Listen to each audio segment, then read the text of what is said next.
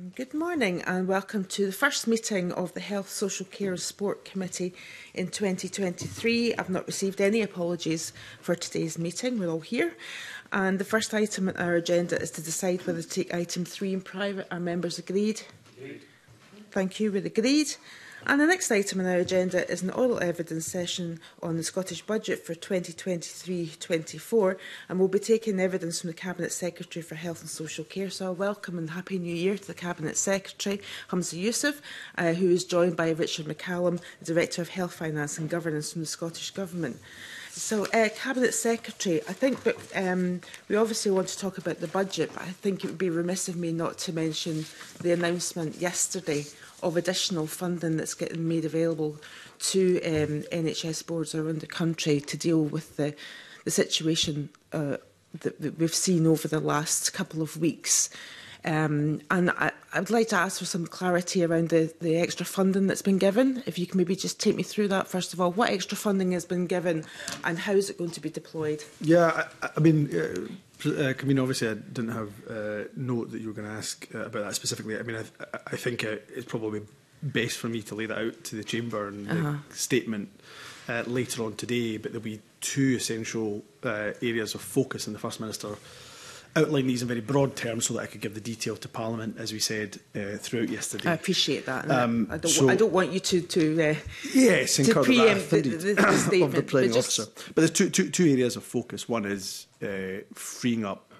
more capacity for interim beds. Now, we've used interim beds already, um, but there'll be a slightly different feature to what I announce in a few hours' time in the, in the, in the chamber, given the pressures that social care is facing.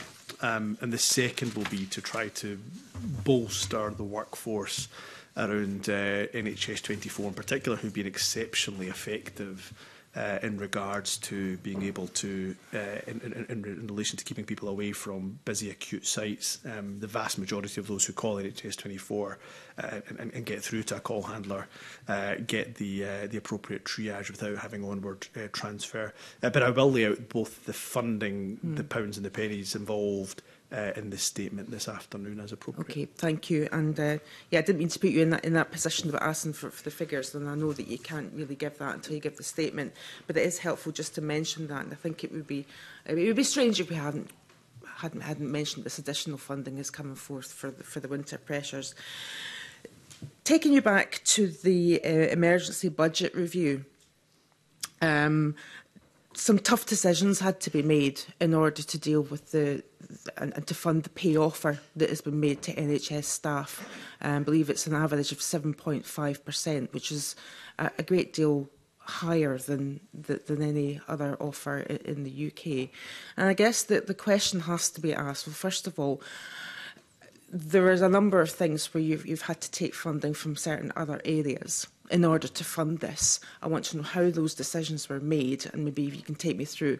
Um, and I guess the question is, how are, how are we, as, as, how is the Scottish Government able to make this increased offer to Scottish NHS staff in a way that isn't been made by the rest of the UK? How can we afford that, essentially? Uh, thanks, um, convener. And sorry, I should have started my uh, uh, other remarks by saying Happy New Year to you and to, to the rest of uh, committee. I hope everybody genuinely got a bit of downtime and a bit of a break. But uh, uh, I suspect uh, as we get into this session, it may feel like a, a distant memory. Um, can I uh, thank you for the question?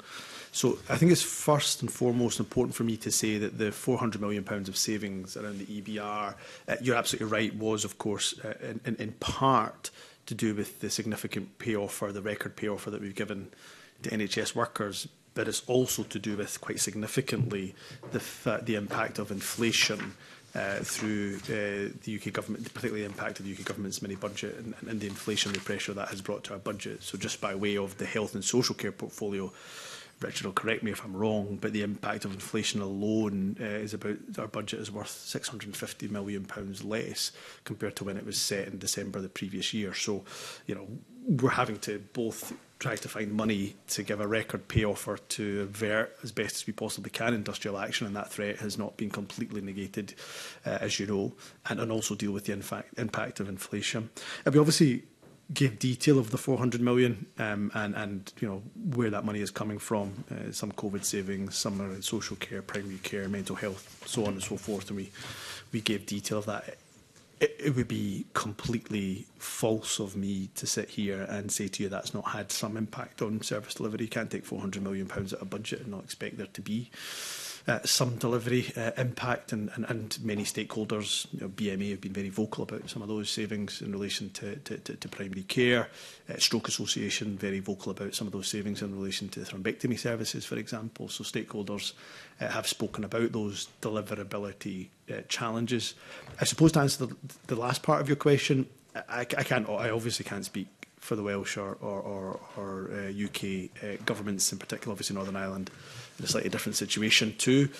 Um, but essentially, it's about making difficult choices. Hmm. Um, we, that's how we afforded the pay offer that we've put on the table, that thus far means that Scotland has been the only country that has not seen nurses and ambulance drivers walk out and strike in the midst of a exceptionally difficult winter, and not just an exceptionally difficult winter here, but one that uh, is taking place right across the UK. As I say, strike action is not completely negated. There still has been no uh, three trade unions, the RCN, RCM and GNB, that are, are still in dispute around the pay offer, uh, and we'll continue meaningful dialogue with them. But um, EBR was an exceptionally difficult process to go through, but one that I thought necessary to try to avert strike action and get frankly, a fair pay deal for NHS workers who absolutely deserve it. Mm. Mm-hmm. No, I, note, I note that in Wales, the, the Welsh Government have said that they want to be able to match what, what Scottish Government have done, but they just cannot.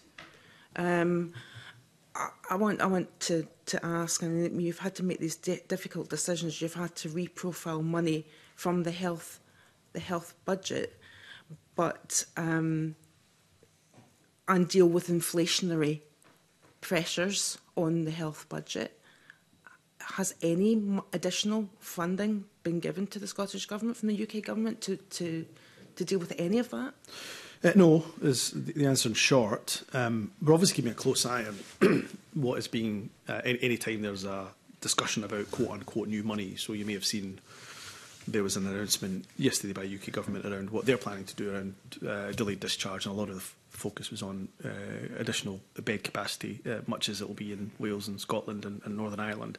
Uh, it was touted as new money, but um, we, we asked HMT Treasury and they were told it's being found within the department uh, there, so there's no consequentials to that. So every time there is an announcement, we're obviously keeping a really close eye to see if hmm. there's any further consequentials. But I have to say, I'm not holding out any hope uh, that there'll be any additional money coming in this financial year, but I'm also mindful that there's some level of discussion that, are, that is now taking place uh, at a UK level between trade unions and uh, the UK government. And yeah, if there's there's anything that comes in year, then of course uh, uh, we've got a commitment to pass health and social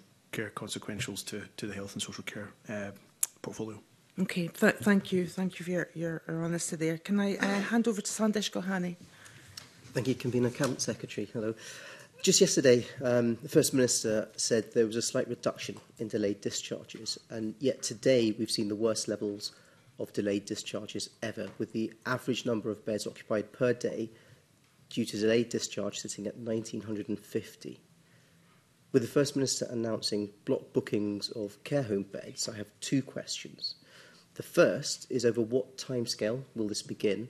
And the second is what level of change do you expect to happen to the delayed discharges? Yeah, I think look, the, the question's a fair one. The level of delayed discharge is far too high. It should be said the First Minister was talking about real-time data. The data you're referring to in terms of the monthly data has obviously got a time lag to it, but you're right, levels of delayed discharge, I'm, I'm certainly not going to argue, uh, are far higher than we'd like them to be perennial issue in Scotland and, and, and right across uh, the United Kingdom. Uh, so I'll give further detail of this uh, in the statement. I'm very conscious of, of, of not preempting uh, too much of what I said in the statement. Um, the focus will be on interim uh, beds uh, and the reason for that.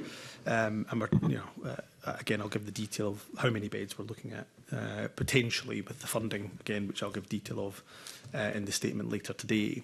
Um, those interim beds can be used for a number uh, a number of different ways. They can be used for those who are waiting for a care home placement, so we'll put them in an interim placement. I think we frankly should also be looking to use those interim beds for those that have not quite had their mm-hmm. assessment yet, um, so we can assess them when they're in the interim uh, bed space. Um, because whatever whatever clinician I talk to, talk a nurse, whoever in any uh, busy acute site, I'm certain uh, the com whole committee knows this, they will continue to tell us that the exit block is the number one issue. It's not the only issue, but it is the number one issue. So creating that capacity is going to be important. Uh, over what time scale? Again, I'll give some detail of that, but I, don't think I'd be uh, sharing too much detail from the statement if I say that that work is already started. Um, you know that I uh, brought forward a ministerial advisory group that brings COSLA, uh, Scottish Care, Chief Officer, Solace, etc. around the table. Uh, this is one of the key issues we've been looking at uh, again, without kind of preempting the statement, one of the reasons why, so we have about 600 interim beds that we already use. The very clear message from Scottish Care coming through is that the rates at the moment that you pay for the national care home contract rate uh, they feel uh, doesn't take account of, for example, the inflationary pressures, the high energy costs, um, when the contract was first set. So again, uh, without preempting the detail of the statement, um, we think we've found a way around that, at least in the interim uh, short period of time. Thank you. And, and again, today we saw the worst ever 8 and 12 hour waits in A&E with only 56% seen within four hours. And obviously hundreds of thousands of patients are waiting for treatment. Do you feel the changes announced yesterday will significantly improve these figures And will you be announcing further measures in your statement? Fair, again, another fair question. Um, so we expect from the, the action we're taking to see some immediate improvement. Your question was significant. Do you see significant improvement? Uh, there is not a silver bullet. Uh, there is not a panacea. I mean, Dr. Glahani knows this, given his clinical experience. Uh, but I do think it will see an improvement we've got to, as well as the shorter term measures that I'll be announcing in the statement today, it's really important that we as a government don't lose focus of the medium to longer term uh, issues, um, particularly around social care. Now, the National Care Service is a part of that, but let's let's all accept that we've got to make improvements now as opposed to wait for a national care service to become operational. So um, as well as the, the shorter term impact, the immediate improvement that I expect to see as a result of the action we're taking uh, on the eight hour waits, the 12 hour waits. And interestingly, that's where we'll see the improvement first. We'll see the improvement, as you know, you know given the flow through a hospital, we'll see the improvement at a 12 hour and eight hour waits before we see them probably in the four hour uh, waiting time target necessarily. Um, Uh, and, and, and not lose focus of those longer term uh, uh, changes and reforms that we have to make to social care, which will help make, I think, a long standing, more sustainable impact uh, in, the, in the longer term. And, and, and although we're focusing a lot on the the kind of backdoor delayed discharge, and understandably so, because it is the issue that is raised most predominantly um, by clinicians and, and healthcare leaders. we also won't lose focus of the front door, and I'll talk about that in the statement to in terms of how we continue to drive down demand at the front door in terms of the preventative agenda. Uh, move on to questions from Evelyn Tweed. Evelyn. Thanks, Convener. Uh, good morning, Cabinet Secretary. Um, there is a large increase in the budget for NHS 24. Can you explain the thinking behind that and what impact it's going to have? Uh, yeah, thanks for the question. Um, so there's no doubt NHS 24 is an absolutely vital service, critical uh, to us. Um, uh, it's been an extremely successful service since its inception and creation. Um, and it's very, very clear from the, the data. And by the way, NHS 24 has exceptional levels of data, as you can imagine, call data, call waiting data, uh, how many are transferred for, uh, how many are triaged, how many people are transferred uh, or, or, recommended to transfer to E, for example. Uh, and it's very, very clear from their data that the vast, overwhelming majority uh, don't need an onward, onward transfer to, to, to A&E. So I see NHS 24 as being critical and trying to reduce that demand to the front door. So the thinking is the more we can bolster staffing levels, both in terms of call handlers but also clinical staff. And we've increased the clinical staff quite significantly. If I look at figures from September to, to September 21 to September 22, real increase in those clinical nursing staff essentially that have helped with that.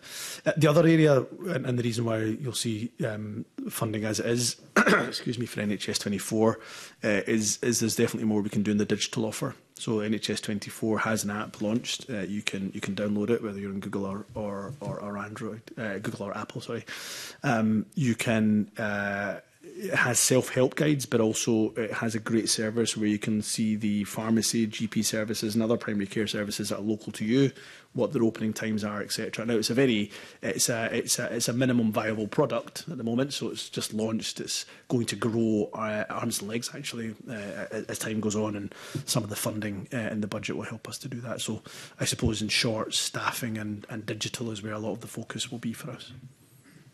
Thank you. Can the Cabinet Secretary provide clarity on how much of the budget relates to the development of the National Care Service? Yeah, so it, it is a, a good question, one obviously we anticipated. Uh, kind of coming up because you know members of parliament the right to ask for that clarity in the National Care Service. So if you look at our current financial memorandum for the NCS, we talk about this uh, the, the, coming financial year being in around the kind of 63 to 95 million pound mark. Now you'll also probably be aware that the Finance Committee has come back to the government to say they want a revised financial memorandum, and there's been a fair degree of scrutiny. Um, so so uh, what a propose to do is once we have that draft of the revised financial memorandum, which we're working on, uh, I think we said, Richard, you'll correct me if I'm wrong, we'll go back next month yeah. to the committee with the revised financial memorandum. That will lay out in detail um, how much we'll be spending specifically on the National Care Service. So it's, it's work underway, given that we've been asked to, to, to, to provide a revised financial memorandum. Thank you. Paul, you have a question on Well, thank you, uh, Convener, and good morning to the Cabinet Secretary and a Happy New Year. Um, I wonder if I can just pick up on that point about NHS 24 uh, recruitment. Um, I, I appreciate there'll be further detail this afternoon, I imagine, in terms of the Cabinet Secretary's statement. But he'll recall that last year he and I had an exchange regarding uh, contact tracing staff and the potential for them to be redeployed into NHS 24 to, to bolster capacity. And I think at that time, the Cabinet Secretary had given an undertaking to try and do as much of that as possible. I don't know if he can say just now how many of those staff were transferred or if he can write to me with further detail on what the transfer was. Yeah, I can certainly write to you. Forgive me, I, I, I don't have just checking, but I don't think I've got quite that level of detail. Um, and it was, it, it was not just NHS 24, of course, it was excuse me, redeployment uh, into NHS boards, territorial as well as, as non-territorial. So forgive me, I, I, I, wouldn't have that detail to, to, to, hand, but I'm more than happy to write to the convener who can share it with the rest of the committee. Okay. Very grateful. Uh, and now we'll move on to questions from Tess White. Tess, joining us remotely.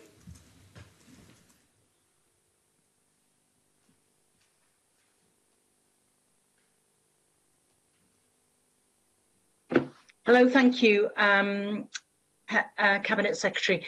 Um, I acknowledge you don't want to provide budget allocation for NHS 24 until this statement, although I am disappointed to hear that. But I raised NHS 24 capacity with you in October, and at the time you emphasised the additional recruitment that, that will take place to support this crucial service.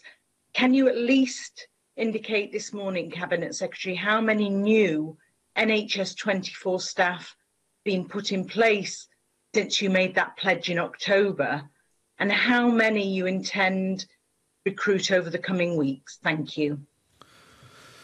Uh, I'm not sure the nature of uh, Tess uh, disappointment, so she can come back to me uh, if she wishes in, in, in, that regard. I mean, the budget for NHS 24 uh, for 23-24 is, is outlined in the the the, the, the budget uh, document um, in terms of any additionality, as I say, I think it's right and appropriate that uh, we've agreed to update the entire Parliament in the Chamber, so we will do that. Uh, in terms of October to December, again, um, uh, if Tess White doesn't mind, I'll come back to her with the exact uh, figures. There has been additional recruitment uh, because I've seen a note from NHS24 uh, in that regard since October, um, and I'll, I'll, I'll, come back to, to Tess White with the exact figures so I don't give her the inadvertent figure by, by, by, by mistake. Thank you. Tess? That, that's my question. Uh, thank you, Convener. Thank you. Um, now move on to uh, financial sustainability. Questions led by Paul Kane. Paul. Thank you very much, uh, Convener. Um, I, I suppose uh, I'm keen just to start in terms of um, the sustainability of management of finances within NHS boards. Um, you know, Audit Scotland have previously highlighted a lack of stable senior leadership uh, with high turnover and short-term tenure. Indeed, I think when we went through this session last year, we were discussing some similar issues. So um, it, it would be good to know what progress the Cabinet Secretary feels has been made in terms of financial stewardship within boards and uh, whether or not he feels there has to be more done to tackle these issues? Uh, so it's still a very uncertain time. Uh, you know, although we are, I think, through a, into a different phase of uh, dealing with this pandemic and, and much more into the endemic phase, um, it's still a very challenging time, as we all know, uh, for NHS boards up and down the country. So um, we are trying to revert back to some of the pre-pandemic processes we had in place. So, for example, um, you know, we are obviously urging boards this financial year to get into a position of balance. I think it's fair to say that you know, we don't expect every single board uh, to quite get there, but we're making it clear that if there is further brokerage required, then as per pre-pandemic arrangements, you know, they would have to, to, to look at repayment of any additional uh, brokerage. So we're getting back into practices that we had pre-pandemic, which helped the financial stewardship uh, of, of, of NHS boards. There are still a number of boards, as you know, that are escalated, three boards that are escalated in relation to their uh, financial performance. Um, and uh, we continue to work uh, exceptionally closely uh, with them. Um, and, and, and given the phase we're now in, in terms of the pandemic, uh, really taking um, um, an even more uh, closer look Um, we already had quite a quite a close relationship with those three boards, but even closer uh, look at what can be done to try to get them to de-escalate uh, in terms of their their their their their financial uh, performance uh, in that respect. Um, so I still think there's a way to go. Uh, in this regard, if I'm being frank and honest, because I think, uh, given the experience of the last two and a half years, almost three years of this pandemic, um, you know, there's, there's, you know, the financial landscape has been so uncertain and unstable, um, given that we've had to suddenly fund a whole new vaccination programme and so on and so forth, uh, that I'm very, very keen that we're now in this new phase that we're getting back to really sound financial, um, man boards are getting back to really sound financial management. And I certainly get that impression from my uh, annual reviews and mid, mid-term uh, reviews that I have with boards. so would would the cabinet secretary be confident that when we we come back around uh, this table to discuss these issues? Uh, six months a year down the line that there will be significant progress made, particularly in those three boards? Does he expect them to have returned uh, to a position of um, those, those usual financial controls, if you like? In short, yes, I would expect significant improvement when we're sat back around here in a you know a year's time, uh, particularly in those boards. Yeah, I mean absolutely in those boards that are escalated, the three uh, Ayrshire uh, borders and, and, and, Highland that are escalated in that respect. I would expect there to be significant improvement. So we've already, and I've been in discussions with those boards uh, around their escalation. Uh, as you can imagine, we have a process. Escalation uh, entails, as, as the member knows, I think, a, a higher level of monitoring uh, and supervision and support. Um, and so that's all ongoing. Um, but fair to say, yes, I'd be I'd be very disappointed if we're sitting here in a year's time and there hasn't been that significant improvement, particularly in those three boards. Okay.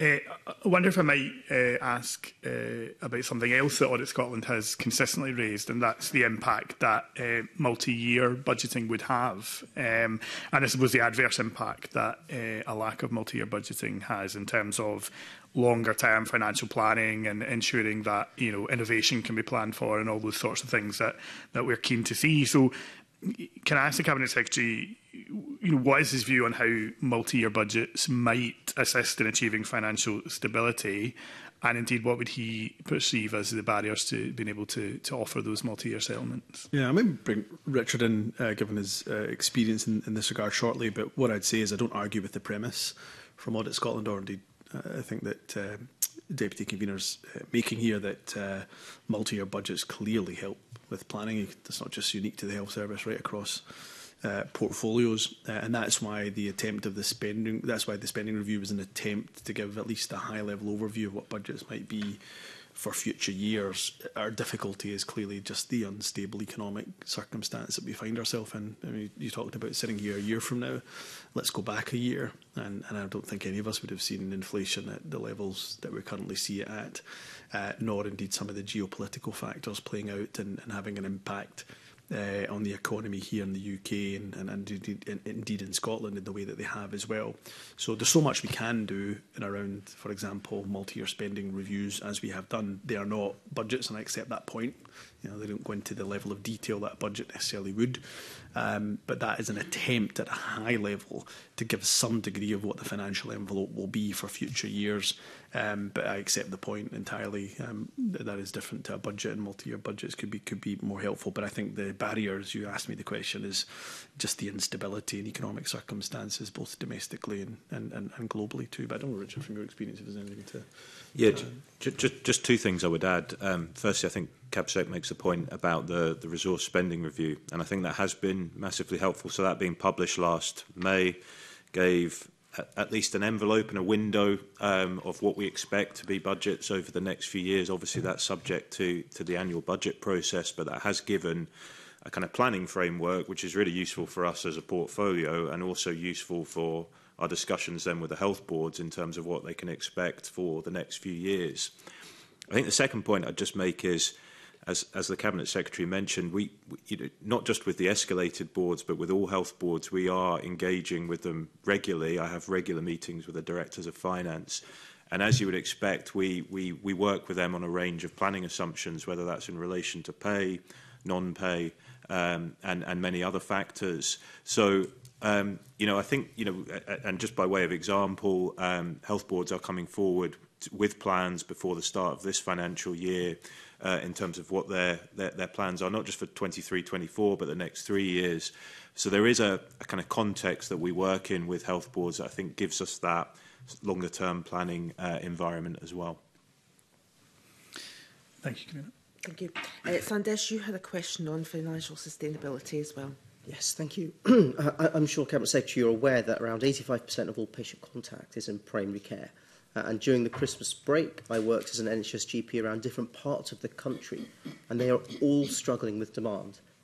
And allied healthcare professionals are vital to help cope. With a £65 million cut to primary care budgets, these additional valued staff are at risk. Do you think GP will be financially stable going forwards? I, think about look the the, the I referenced the the comments from the BMA e in relation to the EBR savings uh, that we looked uh, to make. Obviously, uh, we have uh, a significant budget for 23-24, but I don't doubt that the impact of the reprofiling that we had to make on primary care had an impact. I, I'm not going to argue with that, neither with Dr. Colhany or indeed uh, with the BMA. But it's why our strategy over a number of years has been to increase those multidisciplinary team members that he talks about. We've recruited over 3,220 uh, since making that uh, uh, announcement. On top of that, increases in, in, in general uh, practitioners uh, too. I still think we've got a certainly a way to go uh, in that regard. Uh, but I'm pleased that we were able to, as I say, for the primary care budget uh, for, for, for, for 23 24, um, ensure that uh, primary care is, is well funded. And I think that puts on a sustainable footing. All that being said, uh, not like I need to tell uh, Sanders Kohani, given he's, he's, he's working uh, in primary care, the workload pressure is still exceptionally significant on our GPs um, even with that multidisciplinary team in place. It's why I'm very keen to try to make sure that workload is spread more evenly. So, for example, uh, I've spoken about NHS 24 and what more can we do in around NHS 24 too. But uh, you'll see from the 23-24 budget, um, uh, there is a, a, a, you know, a significant investment uh, in, in primary care that I'm uh, proud to stand, uh, stand, stand, stand by. Thank you. Um, colleagues, I, I'm aware that there's a couple of members that need to, to leave before 12. I'm um, tempted to move our theme on the NHS estate and sustainability forward to allow members to do that. Uh, can I go to Gillian Mackay first of all and then to Tess White and then I'll revert back to our schedule? That's great. Thanks, convener, and good morning, Cabinet Secretary. The, the increase in the cost of energy will undoubtedly be having an impact on the cost of running NHS buildings, as well as food inflation, among many other rising costs. Does this raise issues for how individual boards use their estate, and what impact could this have on boards to be able to deliver services? So there's just no doubt that it has impacts, obviously, on certainly budgets and therefore being able to be innovative, whether it's with um, the estate or through um, uh, other innovations to try to uh, mitigate the impact of that. So you'll know from the 23-24 budget that we've increased um, the funding to boards by by around about 6%, just under 6%. Um, so, so so it's a significant increase. I mean, uh, I should have said from the offset that the, the health and social care portfolio is getting you know additional uh, billion pounds. Uh, you know, a, that's a, a, I hope a, a demonstration of how much the government values uh, our National uh, Health Service. Um, and that, that's more than the consequentials uh, that we've received as well. So uh, all that being said, though, um, uh, you know, inflationary costs are, are putting real pressure um, on us.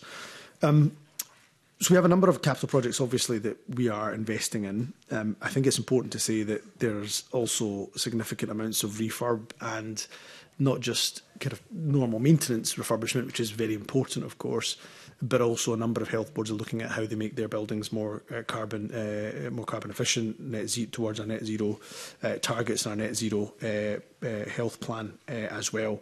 But that doesn't come without upfront capital cost, um, which is something that obviously we're very mindful uh, of. So um, yes, it's I think the, the net zero agenda was always obviously incredibly important. I think it's taken an even greater importance given um, the, uh, although it involves an upfront cost, the, the eventual savings that you could see uh, in relation to energy costs in the future.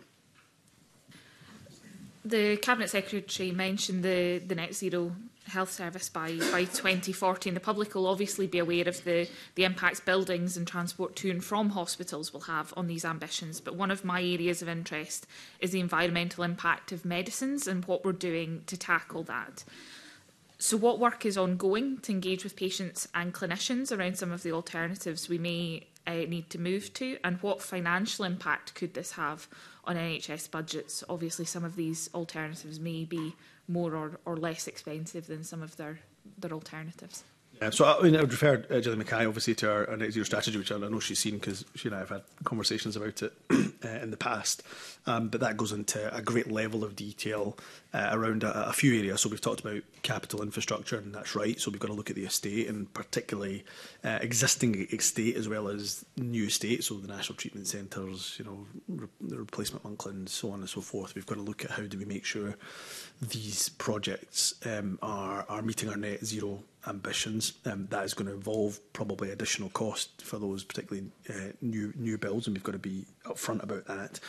Uh, and then the second point uh, that we look at in, in quite a lot of detail is treatments. So we're looking at, um, and, and there's already really good innovation uh, in this space and, and, and really good practice uh, in this space about treatments that uh, release less uh, carbon into the, the, the environment. Um, one of the areas of focus that I'm quite keen on is asthma and the use of asthma inhalers and uh, switching to more uh, carbon uh, friendly uh, treatments for, for, for asthma. Obviously, we want to focus on the preventative, and there's a lot we can do in the preventative space uh, around uh, asthma. That's the first focus, but actually, for those that do have inhalers, looking to get them into more carbon efficient um, in, in inhalers and carbon friendly inhalers is what we're trying to do.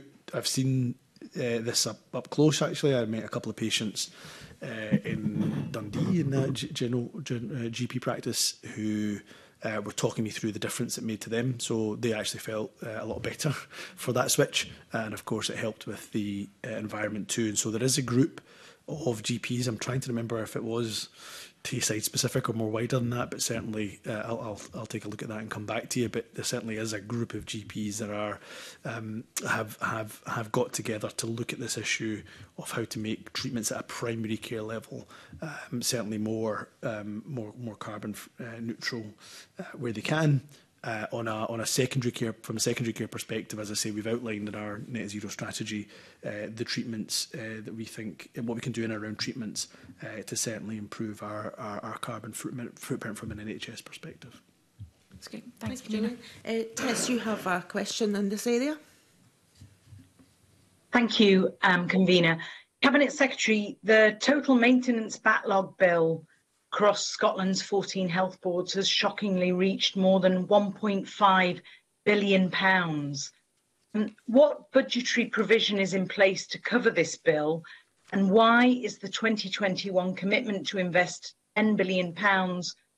over the next decade to replace and refurbish health infrastructure not mentioned in the 2022 programme for government or in the 2023 to 2024 budget? Thank you.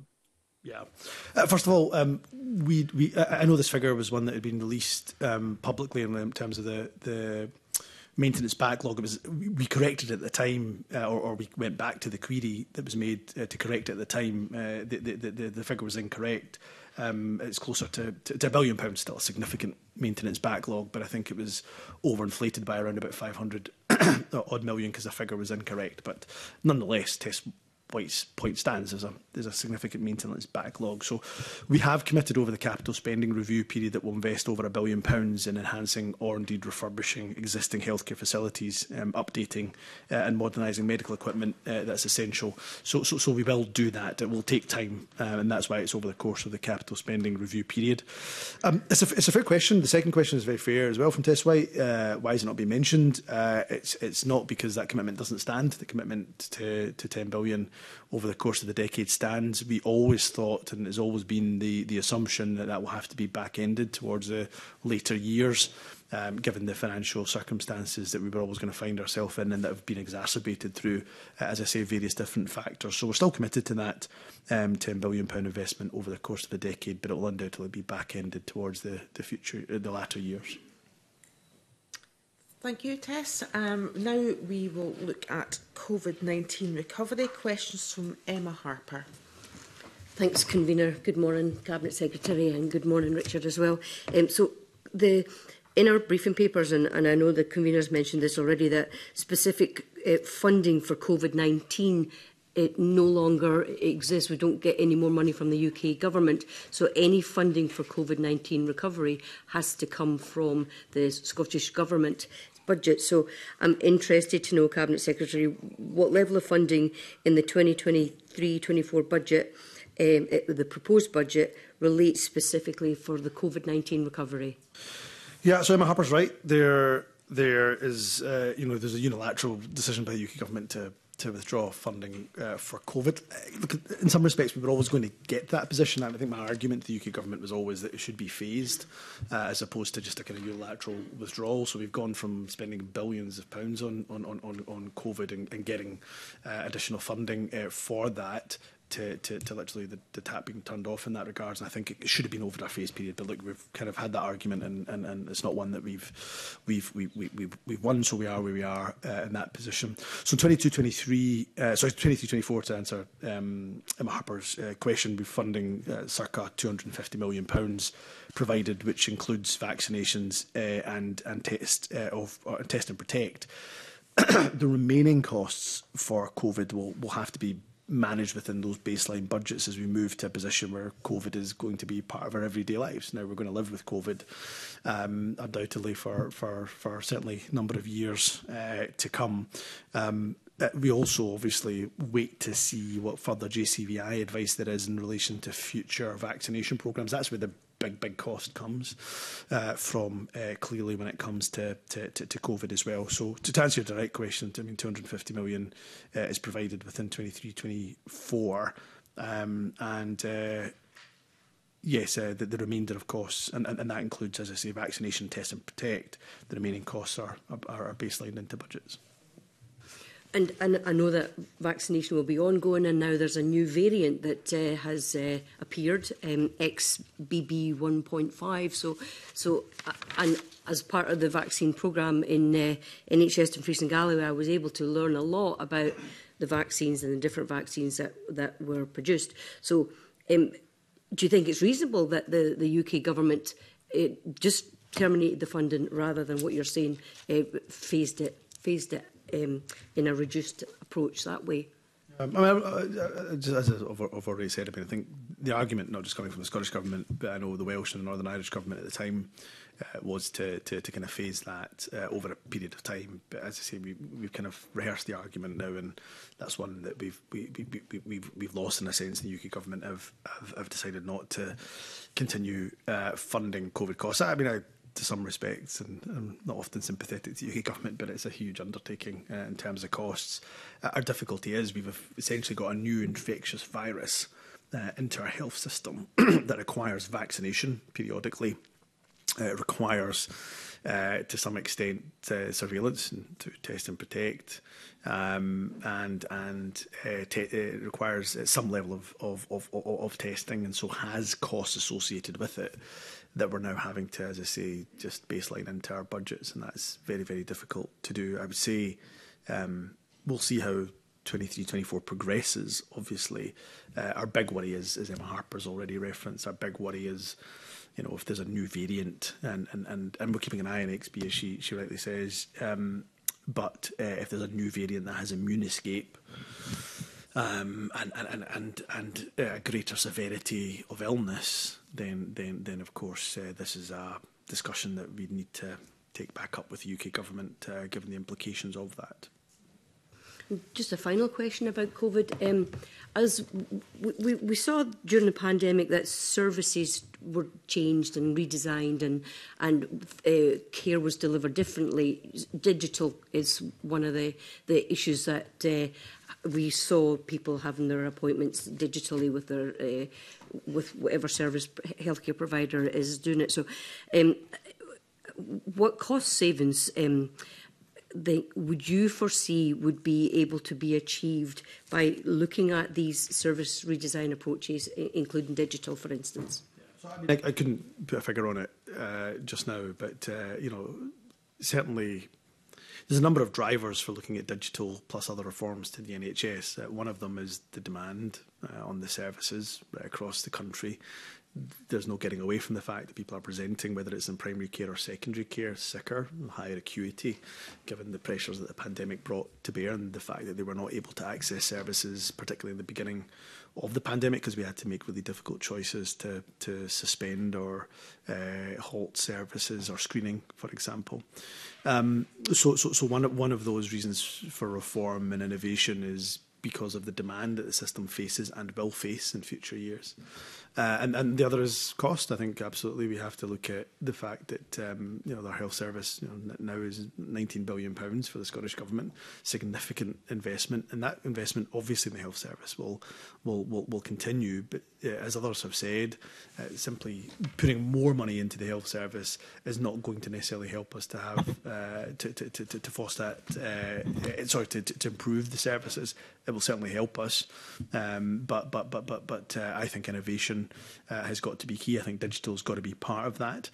Um, and and look, the BMA, for example, are one of the ones to call for, as they put it, a kind of national conversation around the NHS. I think it's you know whether we have a national conversation or or we deem it something else or term it something else. I think there's absolutely a space to have a conversation with the public about how they want to see their health service respond to their needs in the future. What kind of reform do they want to see? And and and, and I'll make it absolutely clear that reform should always be within the founding principles of the NHS. No ifs or buts or maybes about about that. Um, but, but, but, but I think discussions on reform and innovation are, are crucial, actually. Okay, thank you. Thanks. Yeah, I'd just like to ask a follow-up question with regards to COVID testing. And uh, obviously, uh, the, the, the free tests um, are no longer being funded by the UK government. We've got one 1,200 patients in hospital, I believe, at the moment with, with COVID. I mean, do you think that the fact that we're that our population is not able freely able to test for COVID is having an impact on the amount of people that we're having in, in the hospital with COVID just now? Yeah, it's, it's a very good question. It's really hard to say mm. because uh, it's difficult to determine, obviously, the patients with COVID and, and, and in hospital because of COVID, mm-hmm. um, given where we are uh, and, and where we are with community-wide testing. It's, it's a, probably a, a near impossible question to, to, to absolutely definitively answer. Um, but uh, you know, we have to get to a stage. I think it's right that we get to a stage that we treat COVID in the way we would treat flu and other such uh, viral uh, in, in, in infections. So um, I can understand where people's concern, particularly those who are, are caring for somebody who's vulnerable, mm -hmm. they themselves are vulnerable or immunocompromised.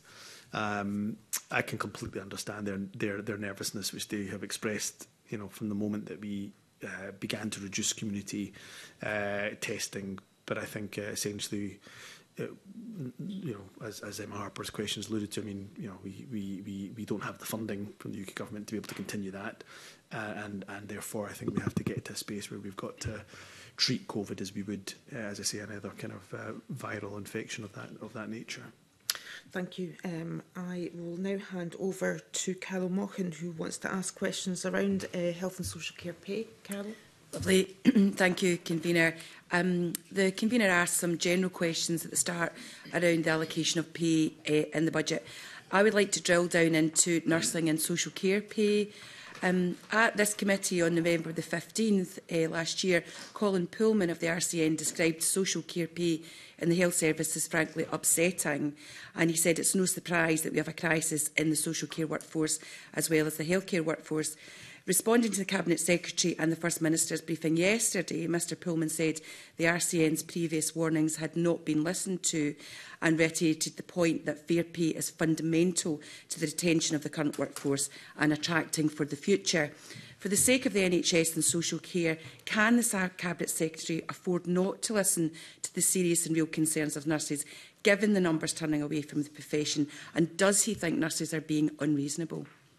Uh, no, I don't. I don't think anybody asking for higher pay in health or social care is being unreasonable. I mean, I've, I hope for all the differences that we might have on this uh, issue that uh, Carol Mockin and, and others would recognise that this government's approach to uh, discussions and negotiations with trade unions has been constructive, has been meaningful. Uh, it's in stark difference to a number of other governments uh, across the UK, and it's why uh, I continue to reiterate that so far Scotland is the only part of the country uh, only only only part of the UK uh, that has not seen nurses and ambulance uh, workers uh, staff go on, on, on strike. Now I'm not taking that for granted because we know that RCN, RCM, and GMB continue to be in dispute, so we'll continue to engage with them.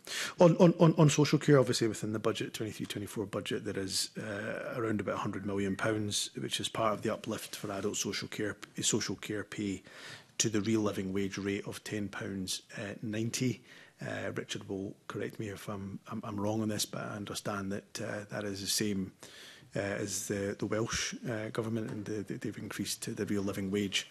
Uh, as well, so that £10.90 for Gurn is higher than actually the UK government's uplift, uh, which is, um, I think, 48 pence uh, lower than the £10.90 uh, rate. So um, Look, I, I don't disagree, though, with the premise of both Carol Mawkins' question and Colin Pullman's comments Um, we've got to continue to see what more we can do to improve pay terms and conditions for social care workers. That comes obviously at a, at, at, at a cost. I know uh, previously Cal Mokin and, and the, the Scottish Labour Party have called for, for example, an increase to, to £15 uh, pounds uh, an hour. I would love to give £15 pounds an hour yesterday uh, to our adult social care workers, but that comes at a significant cost of well over a billion uh, pounds additional, which would be very, very difficult if not, well, near impossible, frankly, to to fund, uh, given the financial pressures uh, that we're under. So we've got to keep working at this, and uh, you know, I certainly wouldn't see the the, the uplift to real living wage being the the, the, the kind of final uplift um, that we see. I think will continue to, to to progress in that regard. Can, can I come back on social care and ask when you have been doing your budget deliberations, have you talked at all about moving towards collective sectorial bargaining and the fact that we know from the trade unions that they're saying that this one change could make a significant difference to retaining uh, staffing, which would then in itself help to look at budgeting across social care? Yes, sectoral bargaining, as you know, is part of the National Care Service uh, proposals that we put forward. It's there on the, uh, as she knows, as part of the, the, the proposals in that uh, respect. Very, very difficult to do in the current uh, structure, um, and, and, and we're always looking to see what we're able to do. But given that we have a very fragment, frag, fragmented landscape, independent providers, third sector, obviously local authority providers. So you've got a very fragmented landscape right across uh, the country. That sectoral bargaining has been virtually uh, impossible, well, very, very difficult uh, thus far, but it's certainly part of the National Care Service proposals if we can do it out with the National Care Service, and that's certainly something we're looking at around our Fair Work agenda in relation to social care. Um, we, we, will, we will certainly do that because I think there's strength in sectoral bargaining.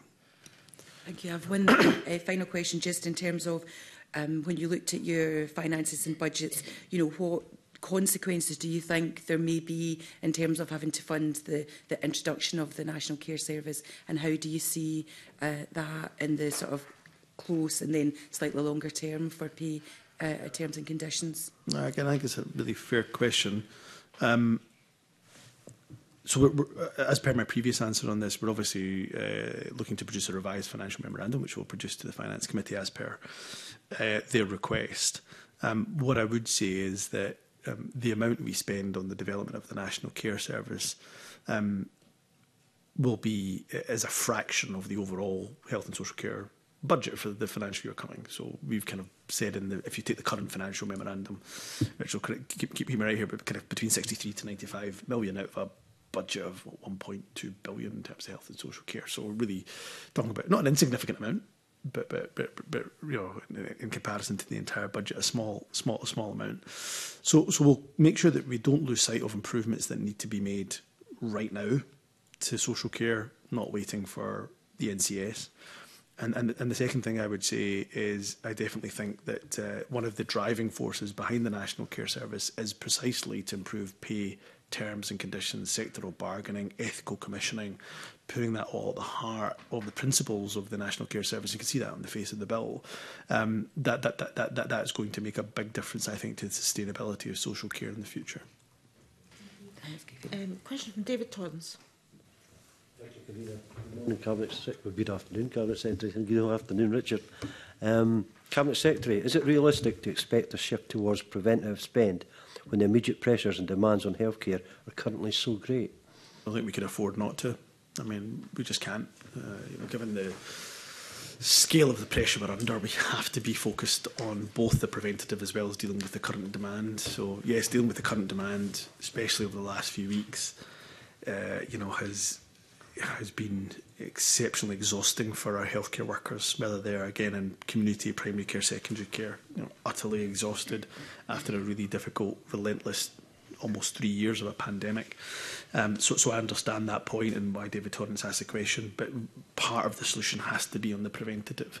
Um, and we've got to make sure that we are doing everything we can, whether it's in relation to smoking cessation, drugs and alcohol, obesity. Um, I've mentioned about asthma, for example, clean air, clean, um, um uh, clean air. Um, there's a lot of focus still going on the preventative mental health, uh, preventative space. Uh, as well. So, so you'll see that within the 23-24 budget. I could give you examples of uh, where, where, where we are spending on the preventative. I'm very keen we don't lose sight of that, um, even with the pressures of the current uh, current the current demands of the that we see on the service.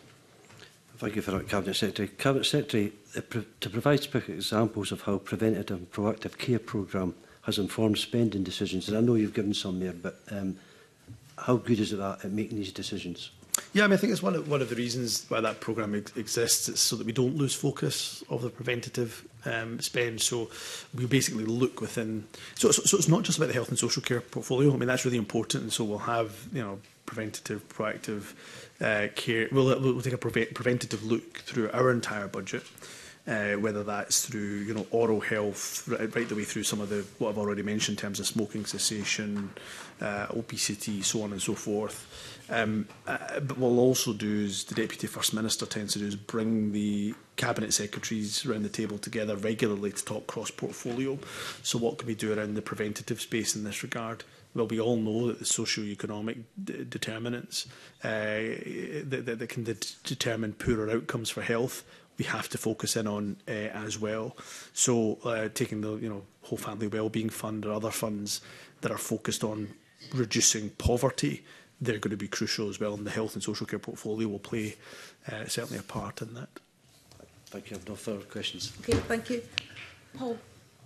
Uh, thank you, uh, convener. I, I wonder if I can just return to the point about um, uh, pay for the social care workforce.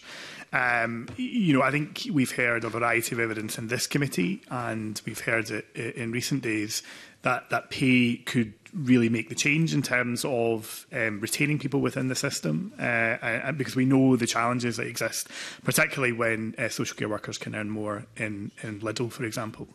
Um, Has the Cabinet Secretary done any cost benefit analysis, any analysis of what uh, the change and the difference made to the NHS uh, would be in terms of attendance at A&E, delayed discharge, if we were to move to a position of 12 pounds an hour, then then looking to raise that to pounds an hour in the course of the Parliament? I mean, look, these, these analysis we'll do on a very regular uh, basis because I don't, again, disagree with the fundamental premise of Paul O'Kane's question, which is if you pay people better, then you've got a better chance of both recruitment and retention. So we believe in that. What we can't do is, so notwithstanding that he and I completely agree in the premise of the question, excuse me, that he asks, What we can't do is take money out of the health service because we still need to deal with the demand pressures that we have in the NHS. We can't just take a billion pounds out and say, right, we're going to put a billion pounds in here, um, uh, and because we think that will, you know, that, that's money better spent uh, here. Now, we'll do that to an extent because that's the entire point of budgeting. Um, but I couldn't justify taking the cost of pounds an hour, even £12 an hour initially at the moment, away from the NHS and into social care. Now, I'm very keen to work with local authorities, uh, very keen uh, to do what we can to continue to increase, excuse me, uh, pay where we can. But it's not just about pay. Pay, I accept, is fundamental. I think there's something around terms and conditions around the social care workforce, career progression around the, the, social care workforce. So I think if there's more we can do in that space, I'm absolutely up for it. So, so yes, I mean this is always part of the kind of calculations and analysis uh, that we tend uh, to do. But um, I, I, don't think Paul O'Kane is, would suggest. Maybe maybe as I shouldn't put words in his mouth, but I, I don't think it would be a suggestion to take the cost of you know what it would cost us for twelve pound an hour out of the NHS just now and put that into social care because it would have a very significantly detrimental impact on the NHS at this stage. Convener, I think given given the acute uh, situation we find ourselves in and the, the uh, announcements that the Cabinet Secretary will make later in this afternoon, I think that piece of analysis to me, that, that very detailed piece of analysis on the benefit of increasing pay is something that should stand alone and, and be done by by the government. I think also I'm keen to understand um, the Cabinet Secretary intends to make an announcement, I'm sure, about uh, in further detail about the, the beds that he will purchase and care homes. Those, that will require a staffing element. Uh, we know, again, about the staffing challenges. I, I, and I think not just that, because obviously there are care at home uh, staffing issues, uh, and I agree with him on terms and conditions. My sense, though, from his previous answers are that, again, we're in the, the kind of four years down the line, a national care service will will deliver all of this and we can we can move the dial. Does he not accept that we need to do more now uh, and that we need to look at these issues right now instead of uh, wishing them away, if you like, into the National Care Service? So look, I, I certainly disagree with the, the characterization of the question because I've made it very abundantly clear that we don't intend to wait for the National Care Service to make improvement. And, and so for the time that I've been Health Secretary, you know, we've announced three pay increases, 10.02 10.15 and, and, and, uh, uh, the next one uh, to 19 uh, in terms of 23-24. So um, you know, there's been we're not waiting for the National Care Service to come into place to continue to uplift wages uh, where, where we can. So that's absolutely got to be um, a part of it.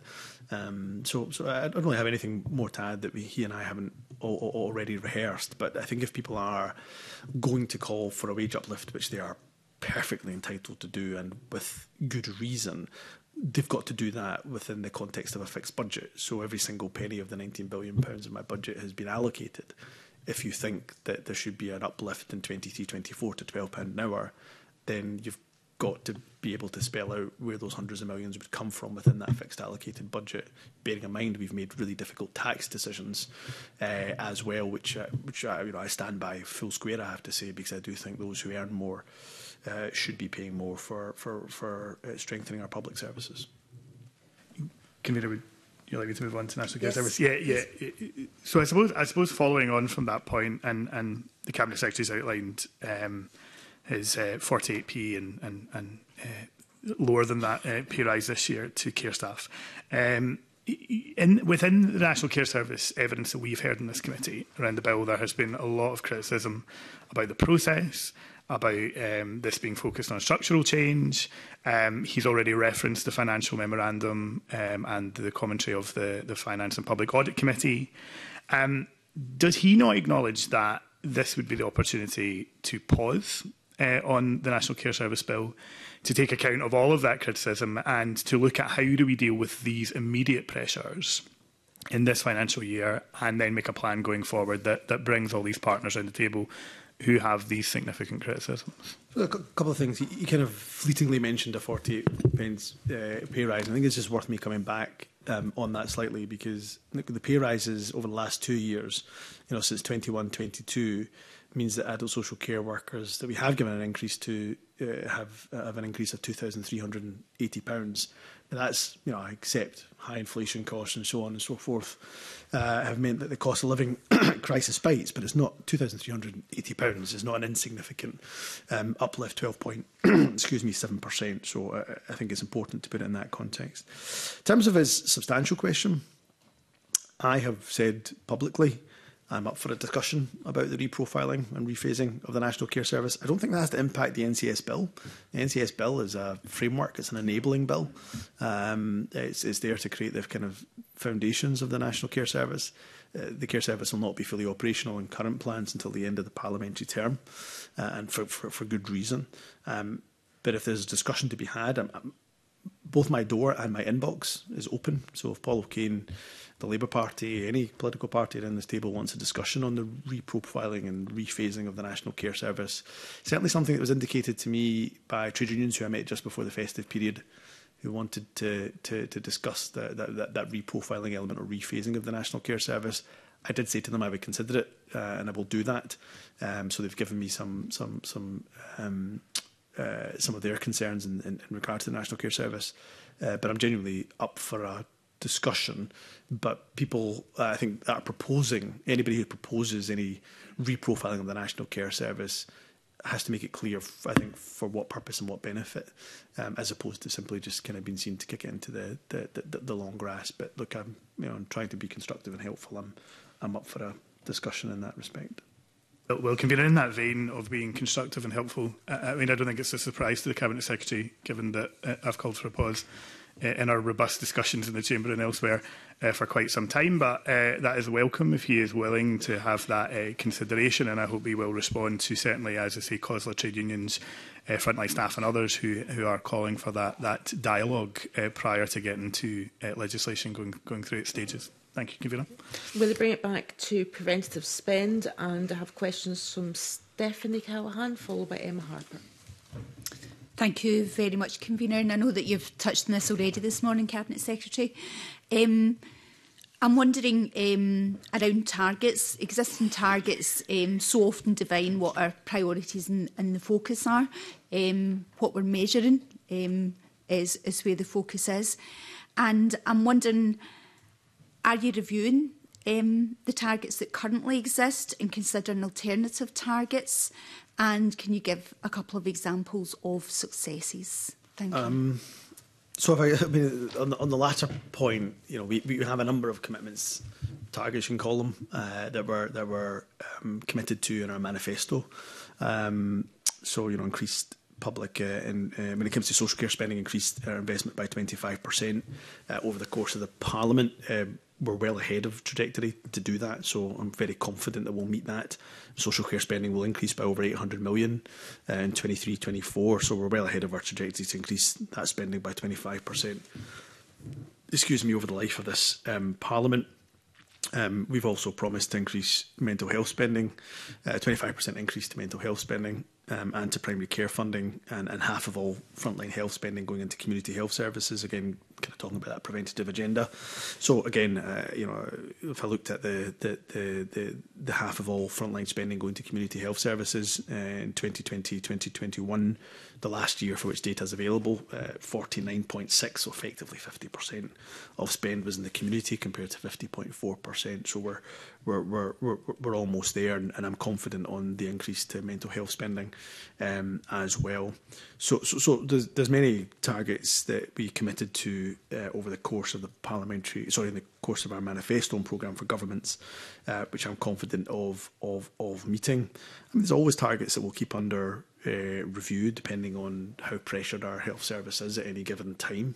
I think it would be, uh, yeah, I think I'd be giving uh, a false impression if I didn't didn't say at this stage that you know the pressures we've been facing over the last few weeks. You know, health boards, for example, have had to take really difficult decisions around reducing some element of elective care, that that's clearly going to have an impact if they're not able to make that up in future weeks and months uh, on, in relation to planned care targets. So there'll always be targets that we'll keep under very, very close uh, review and, uh, and, and, and obviously if there was ever any a change in target, this committee would be the first ones to, to know.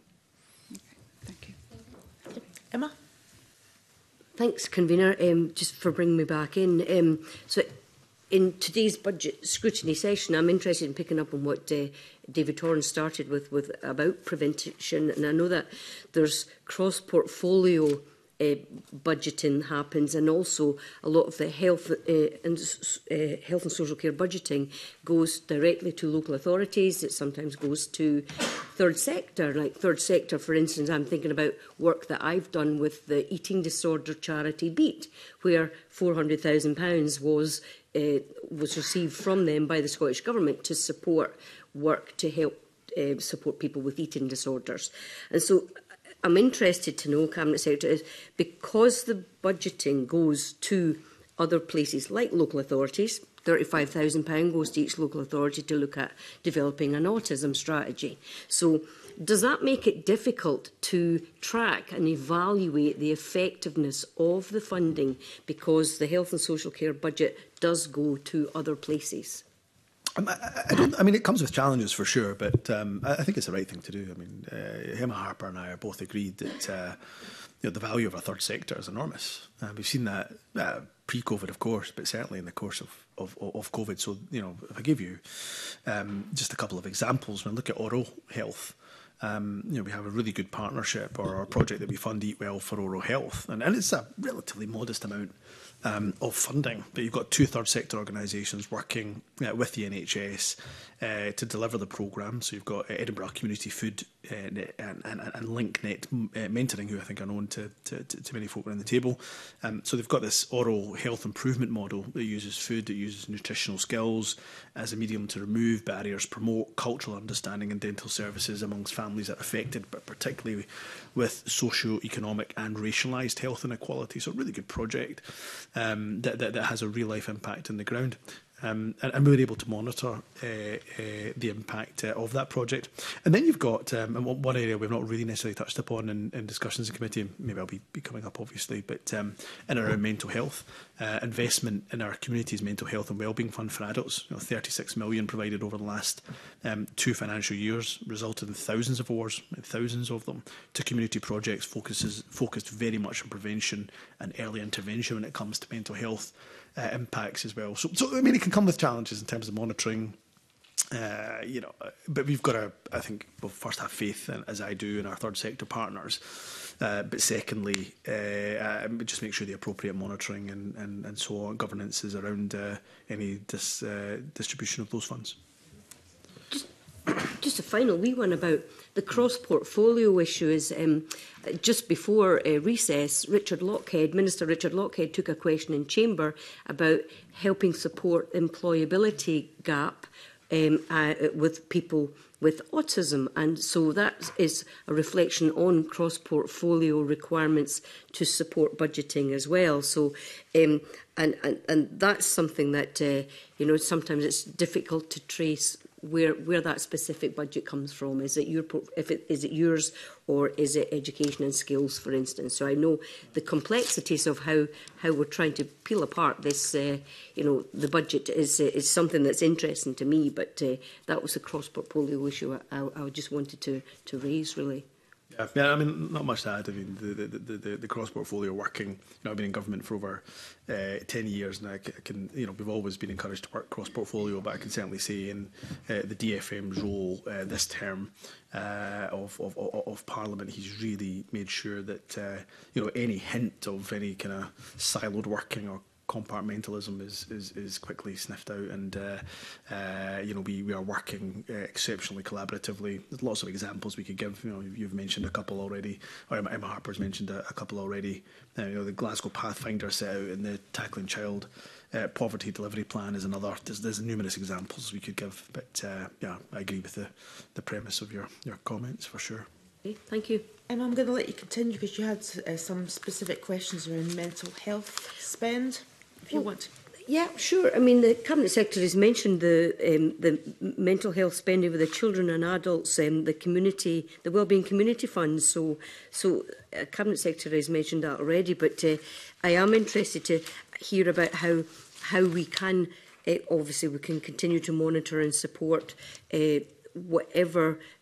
uh, input that can be made for mental health funding in Scotland because we know the challenges for uh, for our healthcare professionals, for instance, as well as uh, everyone else. So um, I, I'm not sure if the Cabinet Secretary really needs to comment any further about that, but uh, I'm interested just that was one of the specific funding aspects about supporting people's mental health in Scotland. Yeah, I mean, little just to say that I hope our 23-24 budget eh, kind of restates our commitment to mental health support. If you looked at it you know, in regards to, to, to previous years, you know, we're up uh, 6% on, on, on 21 22 spend and up you know 139% actually on on 2020 2021 so a real there's been a real significant increase in mental health spend over that kind of three year uh, period um, and uh, yes I, I think there's little for me to, to add to what I've already said uh, but the focus has to be on that the preventative for sure but also as we know uh, I think each of us as, as members of the Scottish Parliament there still exists a, significant challenge around backlogs for uh, access, particularly to CAMS uh, and other mental health services. So our focus continues to be in this budget as a demonstration of that, trying to do our best so that people can get seen, uh, particularly our children, adolescents, um, and, and, and young people in, a, in a timious fashion.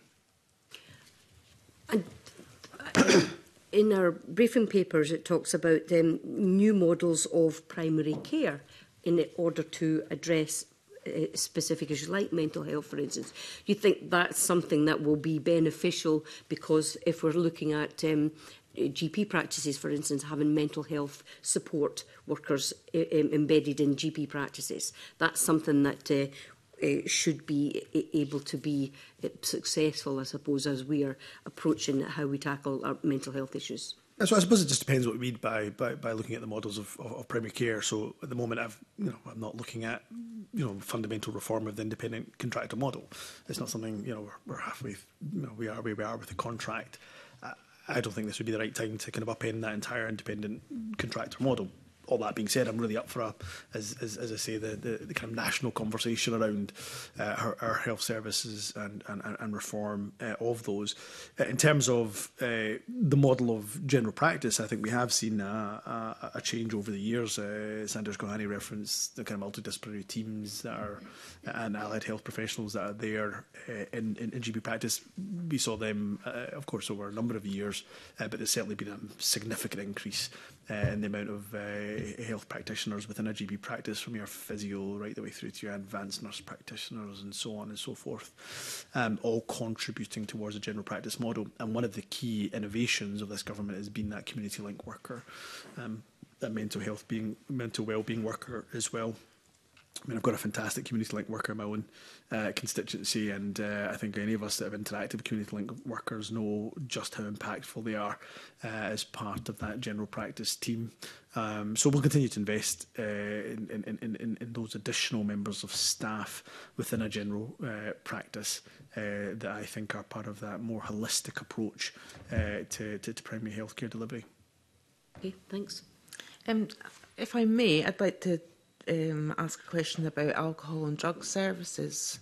Um, we've seen this budget shows a 13.6 million increase. That's equivalent to a 12.3 real times increase in uh, tackling um, alcohol and drug problem use and the effects of that. But it can be quite difficult for the government, I think, to ascertain the effect of that because a lot of it is delivered by alcohol and, and drug partnerships. Is this the, the potential for these services to be brought under a national care service, might that actually be a vehicle for, for, for knowing how that money is spent and what in what areas it can actually be spent better to get the, the health results that we need from that. Yeah, so I suppose taking the second part of the question uh, first, um, I think there's, there's a genuine discussion to be had about um, alcohol uh, and drug services, being part of a national care service and the pros and the cons of that because mm. you know I can see the argument from uh, those who oppose that uh, uh as well and have some concerns in around that. So that's why we're taking some time uh, before we make any decisions uh, in regards to a number of services under the national care service, um, and, and and so we're doing the research, working with external stakeholders and so on and so forth. Uh, as I say, the, the, the, the current plan is not to have the National Care Service fully operational till the end of the parliamentary term, and, and, and has already given uh, public commitments around, you know, entering into discussions about, you know, the hearing from from from from from, from uh, political parties and uh, indeed external stakeholders around whether that timetable that they feel is is is, is the correct one. Uh, notwithstanding all of that uh, Uh, uh, you know, without putting words in my colleague's mouth, Angela Constance, who I speak to, as you can imagine, on this issue very, very regularly. Um, you know, we have some excellent ADPs e right uh, across the country uh, doing some phenomenally good work. Um, but that is why I think Angela's role is so, so important because we are able to have that national oversight on what is working on the ground and what isn't. Mm-hmm. And of course, the consistency or the lack of consistency was one of the reasons why the MAT standards were brought in. Uh, and you can bet your bottom dollar, so be no surprise to you, convener at all, that Angela is all over that with every single uh, ADP and all the partners involved right up and down the country. We have the RAG status, we know who is doing well and what MAT standard, how far away they are from whatever, uh, uh from, from, from whatever standard standard, uh, and therefore um, we we will keep that, uh, and Angela certainly will keep that uh, close governance and monitoring um, of that. In terms of the, the 23-24 budget, um, yeah, there, there is an increase, and, and part of that increase is an additional 12 million to deliver the cross-government uh, plan, which will be published uh, early in the new year uh, as well. So again, it just speaks to the point that Emma Harper was making around that kind of cross-government, cross-portfolio working. Thank you. Um, well, have a final question from Sandesh Gohani. Thank you, Cabinet Secretary. Um, I've been contacted uh, to ask you a question, and I'm just going to read it out to you. Can you please ask the Scottish Health Secretary who is going to do the 1.5 hours which they are proposing to cut from my working week as part of their proposed pay rise? We're a small group of specialist nurses. This cut means we will lose around five working days each month from our team.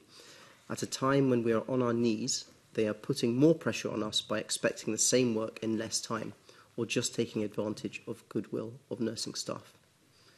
Thanks for the question and thanks for the individual who asked the question. So first of all, I should say that the reduction in the working week is one of the issues that was brought forward by trade unions. So our meaningful engagement that we have with trade unions, our regular meaningful engagement as part of the pay negotiations, uh, this was a fundamental issue brought forward by those who represent the workforce, uh, not something that was necessarily proactively brought forward by the government or indeed by by employers. So we thought it was important to listen to the trade unions, and, and that's why we've made a commitment to the reduction of the working uh, week.